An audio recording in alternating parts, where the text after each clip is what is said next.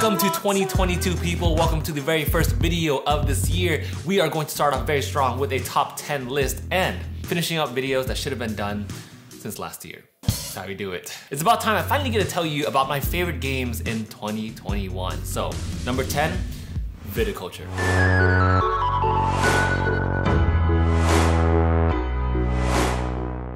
Now this game is all about making wine. You're gonna do so by having different workers, allocating them in different areas. It's a super strong worker placement game and you're going to be building up resources either through different buildings which give you unique structure powers. You'll also have different phases of the game from spring, summer, winter, fall. Every phase you're doing something different, but ultimately this is a very, very, at its core, a very strong worker placement game.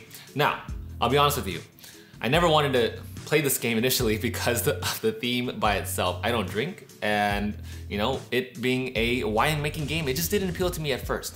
On top of that, this game has been out for eight years. That's a long time. Despite it being out so long ago, it was my first time playing it in 2021, and this is why it made it onto my top 10 list, because of player choices. Out of all the games on today's list, this game has like the most amount of player choices. And for me, I love that because it's always a good feeling when you're playing a game and it makes you want to play it again and approach it differently. Viticulture, let me tell you now, has so many player choices that are incredibly, incredibly fun and satisfying to make. It 100% hurts my brain, both playing it and also thinking about how it was designed and how all the actions up front affects everything downstream. Let me give you a specific example. Let's say you're in summer. You have a choice to gain money, which you can use to buy all your buildings, to pay for card actions, to upgrade your cellars. This is just to name a few. And then you can draw a vine card, which then affects the types of grapes that you gain, how you'll plant your crops in the future, and whether or not you want to search for other types of grapes. You can play a visitor card to give you unique actions, you can sell your grapes or buy or sell your fields to prioritize which crops that you want, and you can also plant the vine cards that you have. In one phase, you have six actions, and out of all those six actions, they will all lead you down a completely different and unique path. That is why it is so incredibly fun. I love this game. However, if you don't like player choices, if you don't like games that will probably take a lot longer on your turn because you have so many things to consider, if you don't like a game that will probably invite you to reach paralysis, analysis paralysis, then this may not be the best fit for you. But for me, I love this game because of how many options that you have throughout the entire game and how every single choice that you make will definitely affect how you approach the game downstream.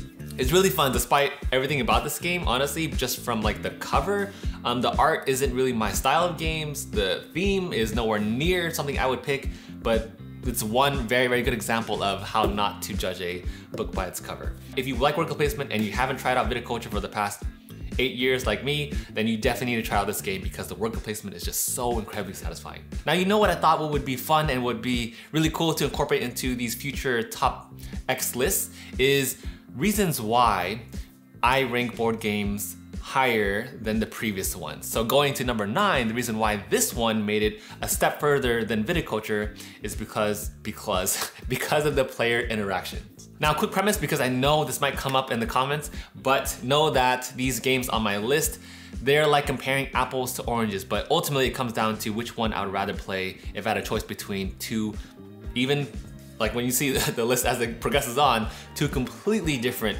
genres of games. But this one, the reason why I'm ranking higher than viticulture is because of the player interactions.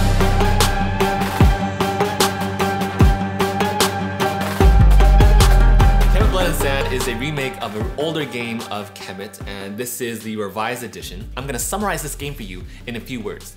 Armies, epic combat, Egyptian gods. What more can you want in a game? Now in Kemet, you are raising an army, you're building up pyramids, you're fighting across Egypt. Honestly, what more can you want? I can answer that. I can answer my own, my own question. Combat. With games like this, of this scale where there are a bunch of miniatures or just a full-on combat-oriented game, the one thing that really scares you or makes you hesitant about playing it is combat. You have these crazy epic scaled armies and the last thing that would be so lackluster, the most disappointing thing is to have combat that sucks. I'm so happy that in Kemet that is not the case. You see all these games and you're just like, I just want some tasty combat mechanics and then sometimes they fall flat, right? It's like, okay, well combat was just that's it. You, you, draw a card, and roll one die, and then whoever has a higher number wins. Like it just, it rips a heart out when a combat-oriented game doesn't deliver on combat. Obviously, with Kemet being on my top 10 list, it definitely delivers. Here's why Kemet's battle system is so good. So for battle, you're gonna secretly pick out these battle cards that list your attack damage, your block damage, and also your blood damage, or in turn, it could also be unblockable blood damage. So all players are gonna start off with the same battle cards, so you actually pick two that you have, you discard one, and then you play the other so that way there's some mystery in which card that you play because eventually you'll actually be able to guess what the other person is playing since we all have the same battle cards to start with. But then you can also add Divine Intervention cards, which give you bonuses as well. And then once you reveal your battle cards, you add up different bonuses from the city that you're battling in, the number of units that you have, different player powers, creatures, and the player with the highest strength will win. But even if you win, I love that both sides will suffer casualties. I also love the choices for the winner. They can actually choose to recall the troops if they want to, but the loser from that battle will actually have to retreat from that area. And Battle Kemet is just so juicy. I don't know what else to call it. It's just so good and it's so fun. And on top of that, there's no dice involved at all, which makes it even that much more interesting. For me, this is the highlight of Kemet. It's the, the theme, the production quality, all that matches epic combat-oriented gameplay. I played this at the five player count and it's been amazing. You have everyone just building up their armies, teleporting around different parts of the map, moving, traversing. It has so much play interaction and I love the different phases between the night phase and the day phase where in the day we're moving and we're battling, but then at night we're like recuperating and gaining all our resources back. Now aside from battle, I love how you have access to different actions for day and night because in the day, like I mentioned earlier, you're powering up and you're positioning your troops, and at night you all come together, you figure out how many resources everyone gains from temple control. There's just a good balance between combat and rest and recovery. I just, I love everything about this game. Bottom line, even if it is a combat-oriented game, there are just a ton of things going on, and it's not convoluted, the gameplay flows super well, and that is the reason why Kemet is number 9 on my top 10 list. Honestly, I feel like it's going to move up higher once I get more plays into it. I've only had like two or three plays of it, but from that preliminary review of it's just, it's really fun. Okay, so are you enjoying this top 10 list so far? These two games are just, I feel like they're highly coveted games. So if you feel the same way or you feel differently about Kemet and Viticulture, let me know down in the comments below. And also, you know what I found out the other day? This one hit, this one hit my heart, man, when I realized this statistic. 90% of you are not subscribed to this channel and we are trying to grow as big as possible in 2022. So if you wanna help me out here, just click that little button on the side. If you like Cinematics, you like what I do here, it takes a couple seconds to just support me. And yeah, let's all, let's all grow together. Okay, so with number eight, that I'm holding my hand right now, before you click away from this video as soon as I mention what it is, know that I thought very long and hard about this list and the past two games I didn't play as much as all the others that are gonna be here. Number eight, hear me out on it. I know it's gonna come out of freaking left field for now, but just hear me out when I tell you that number eight is Tapple. Tapple is a party game that I actually found off of Reina's TikTok. I'm gonna explain this game to you in like 10 seconds. All you have to do is take one of these cards in, that's provided in the back of the game, and then you pick one of the categories shown in one of the colors. So for example, for this one, I'll pick vegetables. And then for that round, all you have to do is say a word with what the first letters beginning with that word that matches with vegetables. For example, I can say celery. There you go, and then click C. And of course, there's a timer, which you can just go around the table, and if you can't come up with a word in the amount of time provided, then you lose for that round. That's pretty much it. That's Tapple. Here's why Tapple is number eight on my list. With every single board game night, my group always asks me to finish off with Tapple. So we essentially play this every single time we get together because they just love this game. We have so many inside jokes from playing this game. I love it because it's just so inviting for everybody and there's no designated player count. You can play with as many people as you want. You can get into teams. You can have multiple teams. You can have almost all ages play and it's just so fun. It's just so easy to grab from your shelf and play. You don't need a rulebook, you know exactly how to play it. There is no setup, you put it on the table and you start playing. And that's why I love this game so much. So be gentle with me in the comments. I know I ranked it higher than Kemet, but honestly, like I said earlier, if I played Kemet more often, I'm pretty sure it's gonna be higher on my list. But I thought long and hard about it, thought about all of our gameplay experiences, and Tapple really just, yeah, that's all I gotta say about it. Okay, time to get a little more serious again and tell you about my number seven on this list. Surprise.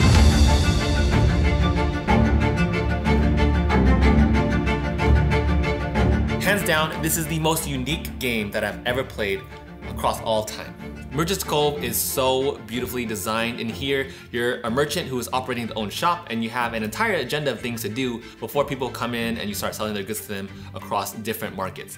Every character is very, very unique, but ultimately, you'll move your character, you generate an action that's specific to you, and then your goal is to produce goods. Here's why Merchant's Cove is just so, so good.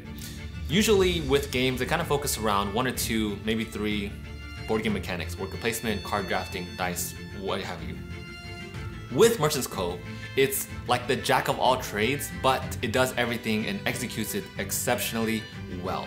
I was scared first that this game actually stretched itself too thin with how many different board game mechanics is inside all this, but I'm so glad that it plays incredibly well. Not only do you really, really feel like you're forging weapons and brewing potions and training dragons, but you're doing so many unique actions, and these all get tied together every phase when everyone's trying to sell different items to the merchants that are coming in. Merchant's Cove is on my top 10 list because I feel like it gives you that individuality, it gives you the freedom to kind of just play around with your own little mini game, but at the same time, it brings all the players together every single phase. So there's still that player interaction there, but it still gives you your unique character feel. I 100% want to do a full review on Merchant's Cove, but that is number seven. Now moving on to number six. Now typically, if there's a problem with this channel, and that is I typically don't cover co-ops because I usually don't like co-ops, but there are a few games moving up on this list that are co-ops and that have made it because they are just that good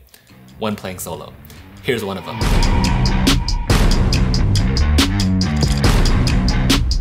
Number six might have also been one of the top cinematics that I really enjoyed doing in 2021, and that is the pandemic system integrated with World of Warcraft. That is a mouthful to say.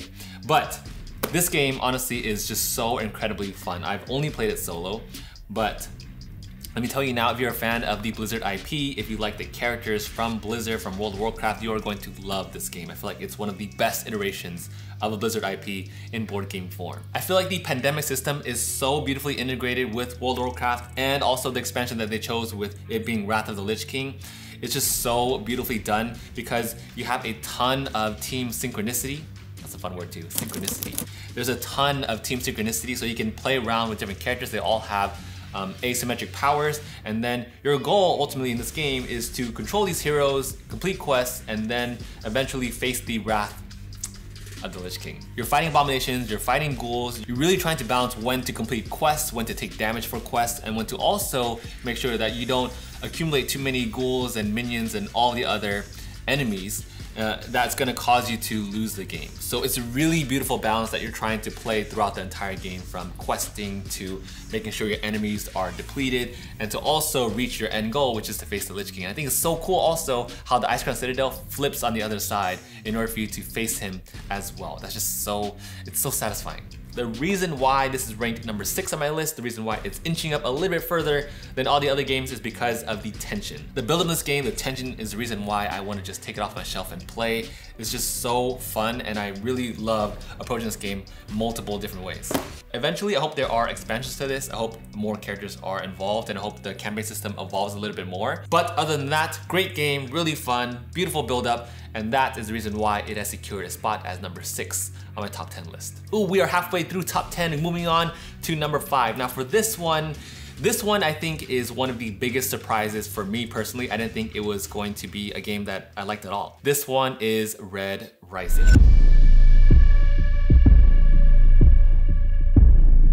Didn't read any of the books on Red Rising. I feel like I would appreciate the game even more if I did, but this is essentially a card game. So in Red Rising, this is a futuristic dystopian society divided into a bunch of castes and ultimately you're playing with one out of six houses that is trying to raise to power by also gaining followers as well. As much as I love board games, I completely suck at them.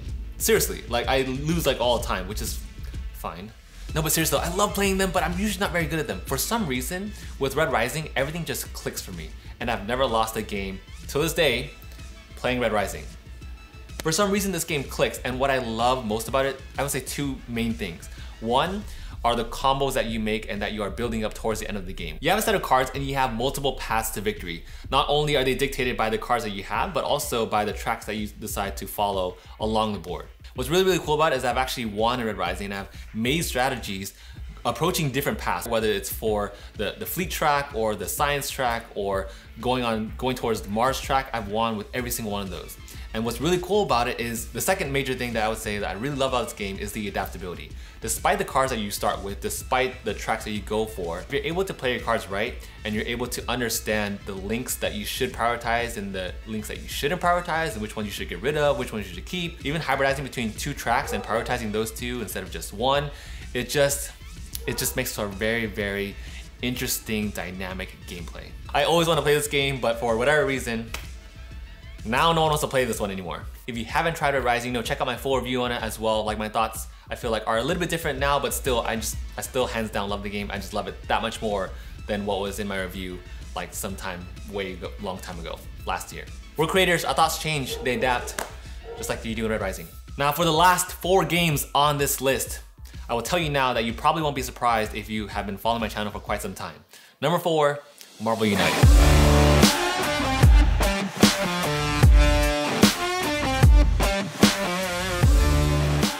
Marvel United, you have your favorite heroes, you have your favorite villains, practically every single character in the Marvel Universe is represented in this game. Only play this game solo, it does have a cooperative mode, and I'm sure this is like one of the very, very rare games I would love to play cooperatively. But in this game, it is essentially, if you distill it down, it is a card game.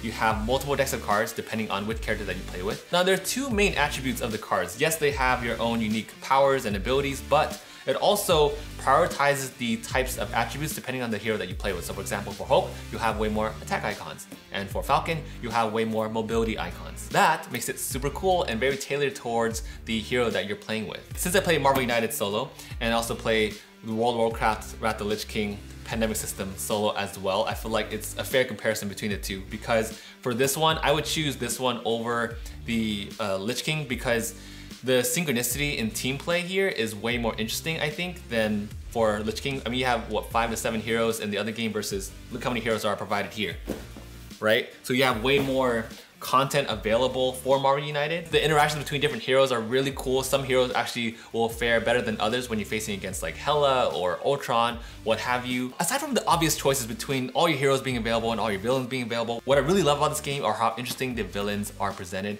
and how you can really have an infinite amount of combinations available in order to face each villain. And it's just so, so cool. I cannot wait for the next Marvel United, the X-Men 2, because that one introduces a whole other world of mechanics as well. But yeah, Marvel United easily secured a spot on my top 10 list. Love playing this game, and I just can't wait to dive into every single box. Okay, so if Marvel United was number four, then you can probably guess what is number three. This one is Marvel Champions.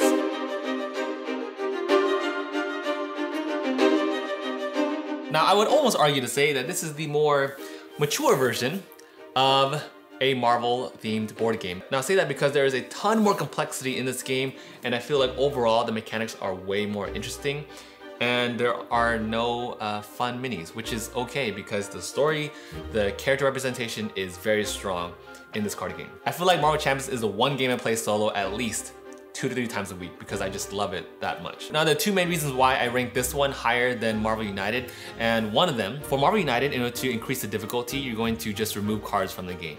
With Marvel Champions, it's not like that because villains actually have a completely different form that you have to take on when fighting them. The second reason is that the deck customization just wins it over for me. I have always been a huge fan of Yu-Gi-Oh!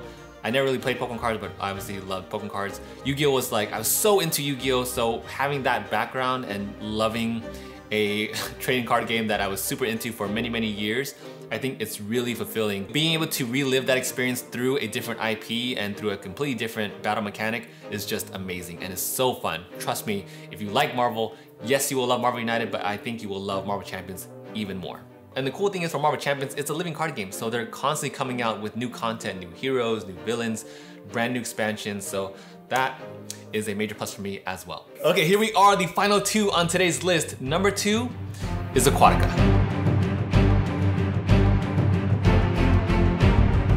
Is not an understatement to say that this game is always on like my pile of board games that I bring to board game events when we have them. If I'm deciding between all the games on my shelf, this is always going to be in the pile because I just, I've never been bored playing Aquatica again and again and again. I feel like I played Aquatica the most out of any game in 2021. You check out my full review here if you want to know more about the game, but ultimately you're a Sea Lord, you're playing with different cards, there are a ton of card combos, very, very unique sliding mechanisms. It's an incredibly unique, fun, diversifying, beautiful board game. I play this game because I covered it for the Dice Tower and there are just so many, so I can go on and on about the reasons why I love this game and why it's number two on my list. Let me give you a few highlights. When you see other players play this game and it clicks for them and you see how they start to combo off different cards, it's just so satisfying and rewarding to see. It's very, very easy to teach. There is so much more complexity underneath the surface. It plays wonderfully from two to five players. I wouldn't really recommend it solo because it's. Uh, I feel like the solo mode here is very, very boring. Uh, you're just pretty much trying to score the highest amount of points possible and it kind of gets redundant really, really fast, but at two players and higher, it is amazing. If you're looking for a unique game, if you're looking for a game that is easy to teach, that's easy to bring to every board game group, trust me, Aquatica is one that you are probably looking for. Luna. Lastly, it's a water theme, and you all know how I feel about the water theme with the 10 photos behind me all being water oriented as well. Okay, here we are at the number one most favorite game I've ever played in 2021. Here we go.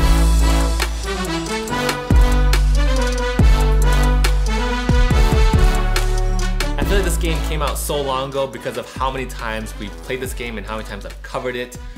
Dwellings of Eldervale. Come on. You're going to see this on many, many more board game lists. I'm sorry, I'm gonna try not to put it on there, but to be frank with you, it deserves to be on practically every list that I ever make. I love this game so much. I feel like I did the cinematic on this like years ago, but actually it was just last year. It was actually the very first video that I came out with in 2021. But ever since then, my goodness, it has never stopped being played. Across this one versus Aquatica has been played across all player accounts and it is amazing. Dwellings of Eldervale is essentially a worker placement game.